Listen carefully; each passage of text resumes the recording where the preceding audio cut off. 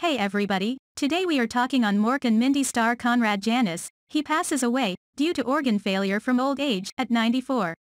Let's watch further details in this video, hit like and share with your friends. Mork and Mindy star Conrad Janis has passed away at age 94. His business manager, Dean A. Avidan, confirmed Janis died on March 1 in a statement to People. Avidan said the actor passed due to organ failure from old age.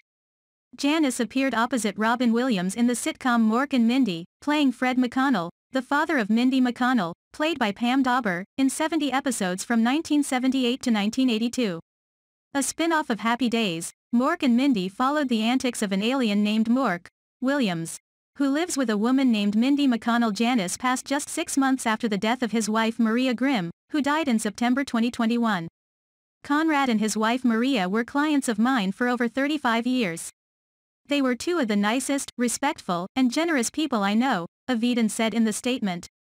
I have many fond memories of Conrad telling me stories from his past. He was an amazing man that led a truly amazing life. Janis was born February 11, 1928 to Sidney and Harriet Janis, well-known art collectors and gallerists in New York, according to Deadline.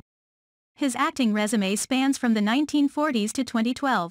His career began in the mid-1940s, when he landed a role in the 1945 production of Dark of the Moon. It would be the first of 12 Broadway shows he would appear in during his career. His career on Broadway included roles in 1957's A Visit to a Small Planet and a 1969 revival of The Front Page, according to the New York Times.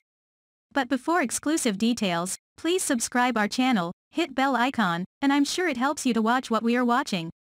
He also starred in the 1945 wartime comedy Snafu, followed by roles in Margie, The Brasher Doubloon, That Hagen Girl and Beyond Glory. The actor also had roles in Murder, She Wrote, The Cable Guy, Baywatch, L.A. Heat, Frasier, and Bad Blood.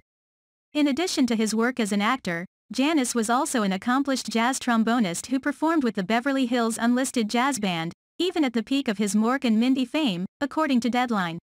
According to the New York Post, Janis was a voracious listener of trombonist Kid Ory and his New Orleans jazz band in the 1940s, leading to his lifelong passion for music. In the course of going eight or nine months and listening to him every night, I inadvertently memorized every one of his solos, he said in an interview with film historian Alan K. Rode in 2012. When I finally got hold of a trombone, sometime later, I started playing and could play, very badly and stumbling, but I had it in my ear. Janis, whose character managed a music store on Mork and Mindy, said he regretted not being able to play his trombone on the series. The producers wouldn't go for it, the actor told the Albany Democrat Herald of Oregon in 1990, according to the NY Times. We had a really cute script where I got together with my old Dixieland jazz band, but they didn't think it was funny enough. Once Janis' father Sidney Janis turned 90, he relinquished his gallery, the Janis Gallery, to Conrad and his brother Carroll, according to the NY Times. They kept it running until 1999. Janis tied the knot three different times in his life, according to the NY Times. He was first married to Vicki Quarles, whom he eventually divorced, followed by Rhonda Copeland. They also divorced. He married his third wife, Grimm, in 1987. According to the NY Post, he is survived by his children Christopher and Karen, two grandchildren and two great-grandchildren. Fans paid tribute to the actor on Twitter after news of his death broke. Rest in peace to another talent man. Conrad Janis was a jazz trombonist and actor who played the role of Mindy's father on Mork and Mindy but, he also led the Beverly Hills Unlisted Jazz Band for a while and worked with my father down at Drum City and Clover Studios, tweeted one fan.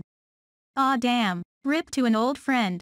Conrad Janis, father on Mork and Mindy, and much more, dies at 94. I knew Connie for years, big flirt. Funny, talented guy, another tweeted. Very sorry to learn that Conrad Janis has passed.